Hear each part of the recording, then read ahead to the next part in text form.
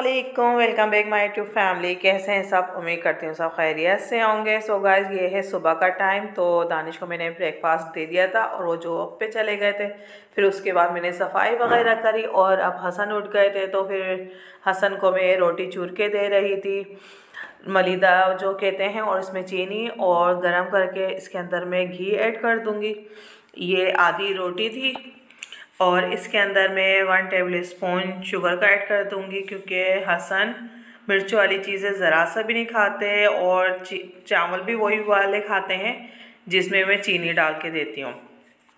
तो अब ये मैं, इसके लिए मैंने मलिदा बना दिया है ताकि मैं इसको सुकून से ये ब्रेकफास्ट करा दूँ और फिर उसके बाद मैं अपना ब्रेकफास्ट बनाऊँगी। तो कबाब रखा हुआ था, मैं सोच रही थी कि ना आज आपके साथ बन कबाब की रेसिपी शेयर करूँ, जो बहुत ज़बरदस्त बर्गर बनकर तैयार हो जाता है, जो ठेले वाला होता है, बिल्कुल इसी तरीके से मैंने कोशिश की है तो आप वीडियो स्किप मत कीजिएगा, पूरा वॉच कीजिएगा।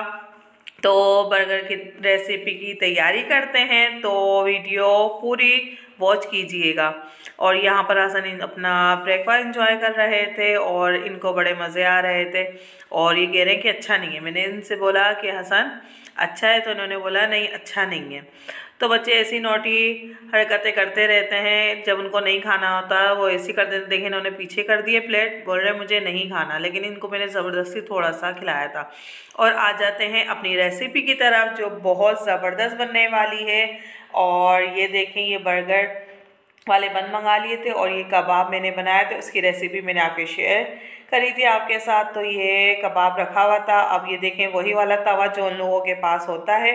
अब मैं इसमें ही थोड़ा सा मैंने घी ऐड करा और हम ये जो बन है, इसको अच्छे तरीके से फ्राई कर लेंगे, सेक लेंगे ताकि थोड़ा क्रिस्पी हो जाए, वरना तो ऐसी अजीब सा लगता है सूखा सूखा। और अब ये देखें, मैंने अंडे के अंदर नमक डाला था, कुटी मिर्च डाली थी और हम इसको फ्राई कर लिया हमने अंडे को और ये कबाब हमारा वहाँ साइड में रखा हुआ है, गर्म हो रहा है।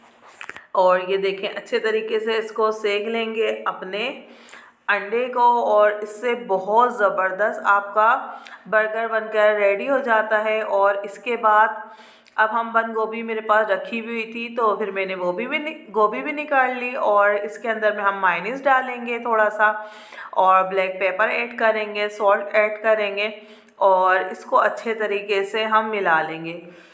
और ये डालने के बाद आपका बर्गर बहुत ज़बरदस्त बनता है। अच्छा और सलाद पत्ते से भी बहुत ज़बरदस्त लगता है बट मेरे पास सलाद पत्ता नहीं था तो मैंने ऐड नहीं करा। और ये देखें, अब मैंने ब्लैक पेपर ऐड कर दिया। इसके बाद मैं थोड़ा सा सॉल्ट ऐड कर रही हूँ। और इसको ये देखें, कितना ज़बरदस्त लग रहा है। और ये सैंडविच में बहुत ज़बरदस्त लगता है। और ये देखें, इसको अब मैं मिला लूँगी अच्छे तरीके से और फिर ये हम अपने बर्गर पे लगा लेंगे। और सबसे पहले हम बर्गर पर केचप लगाएँगे। मेरा केचप भी ख़त्म हो गया और रमज़ान आने से पहले ये सारी शॉपिंग वगैरह करनी है, केचप वगैरह की। अच्छा ये जो केचप है, मेरे पास दो महीनों से चल, दो महीने से भी ज़्यादा होगा चल रहा है, क्योंकि मैं एक अकेली हूँ खाने वाली।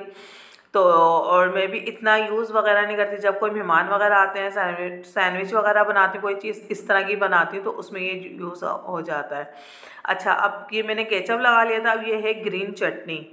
तो ये सारी चीज़ें आपको पता है, मैं स्टॉक करके रखती हूँ डीप फ्रीज़र में तो मुझे बड़ी आसानी हो जाती है। जो भी चीज़ बनानी होती है, मैं झटपट सारी चीज़ें बना लेती हूँ। कोई मेहमान आता है तो मुझे परेशानी भी नहीं होती। चिकन वगैरह, हर चीज़ में मैरिनेट करके रखती हूँ। अच्छा ये हमने अब गोभी के अंदर जो माइनिस वगैरह डाला था, वो हम इसको फैला लेंगे बर्गर पर। और अगर मैं गोभी सादी रखी तो इतना मज़ा नहीं आता जब मैंने इसके अंदर, क्या कहते हैं मायनीस और काली मिर्च डाली तो बहुत ज़बरदस्त लग रही थी गोभी। और अब देखें, अब मैंने इसके अंदर एक कबाब डाल दिया, शामी कबाब। और अब इसके बाद हम अंडा रख देंगे। इसके ऊपर बहुत ज़बरदस्त ये अंडे वाला बन कबाब बना था आप लोग इस तरीके से ज़रूर ट्राई करिएगा। जो गोभी के अंदर मैंने मायनीस काली मिर्चें डाली थी तो बहुत ज़बरदस्त बनेगा और दूसरों को भी खिलाएँ, ख़ुद भी खाएँ इंजॉय करें। तो गाइज़ वीडियो पसंद आई लाइक करें सब्सक्राइब करें बेल आइकन को प्रेस कर दिया करें ताकि मेरी वीडियो की नोटिफिकेशन आपको मिलती रहे। अपना बहुत सारा ख्याल रखिएगा, दुआओं में याद रखिएगा। मिलते हैं इसी तरह की वीडियो के साथ। अल्लाह हाफिज़।